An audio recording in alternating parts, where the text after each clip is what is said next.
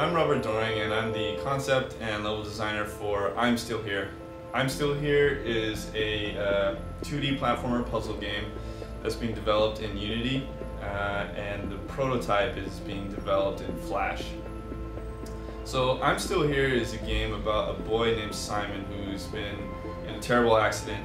Um, he's completely paralyzed and in a coma and the doctors just declared that they don't even know when he's going to even wake up. Because the game revolves around kind of him conquering his fears and his insecurities, we, for the uh, actual level design itself, we decided to take our cues and inspiration from games like Super Metroid, Fez, and Limbo, which are all platformer games um, and also puzzle solving games. But what good about them is that they're all heavily story and theme based. They all have levels and puzzles that are based off of the overall game concept, but also the uh, actual level concept itself. So uh, even uh, you know in, in uh, Super Metroid, an ice level will be very blue, white, and uh, gray, and the puzzles are also kind of uh, reflective of the fact that it's supposed to be an ice level. Hi, I'm Greg Downey, and I was a project planner and level designer on I'm Still Here. For this project we had a tight uh, schedule. We had our first team meeting on the 10th of February and by the 20th of April we were due to have a prototype submitted. On the 14th of March we had fi uh, finalised the concept and created a video pitch and submitted that for the competition. During this time period we assigned each other different tasks over the course of the project and assigned different team leaders each, uh, each week we had for a different meeting.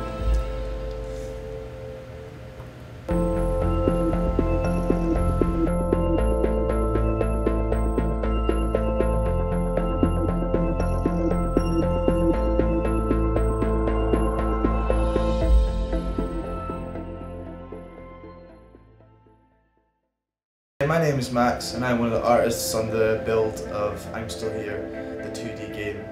First of all we had to come up with a style. We decided to go something minimalistic and quite dark. We, just, we decided this would be good in order to keep the scariness level of the game quite high. We decided to use quite a simple colour palette, usually only using one or two, sometimes three colours if necessary. Once we decided on the theme for the game, the next stage was to start storyboarding. What this led us to do is create some basic scenarios for the game which would give us an idea of what characters and what different environments to create. So what we did is we got some paper and we basically started sketching some ideas different environments ranging from things with large expanses to discover and other things which are very small and a bit more intricate. So the next stage in design was to actually get started with the proper artwork for the game. Uh, so what happened was Cameron sent me in some character designs, uh, just some rough sketches, so I brought it down and I started expanding all of the creations that he made. Uh, I looked into different styles of hair, eyes, clothes, and then I started to really get a, really, a good character in order. Um, having a good character was a good basis to building a new environment.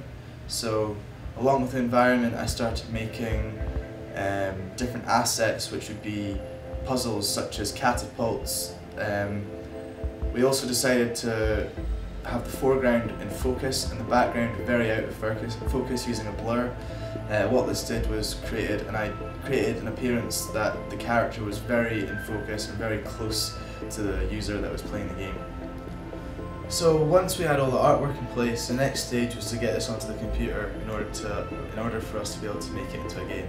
So what I did was I got all the artwork, scanned it into the computer, and started creating masks on Photoshop and Illustrator, and recreating all my graphics. And very quickly, it was noticeable that it was much better, much realistic, more realistic game theme, and uh, this worked really well. When I put it into Photoshop, especially the character, I'd break it down into arms, hands, feet, legs, and head in order so I could move it around when I gave it to the so that the developers could move it around when they brought it into Unity. Um, all in all, this was quite simple and it was quite a fast part of the project. Uh, for the level design, we kind of went with uh, themes based on, uh, as I said earlier, fears. Uh, for the first level, we really went with loneliness. The fact that Simon is stuck, that he, if he fails, there'll be no coming out of this coma. Even though he is stuck, he can still hear outside voices. There's stimuli from the outside. Like voices were sort of echoing, echoing voices. That's what Simon, what Simon, Simon fears the most is going to happen if uh, he doesn't succeed.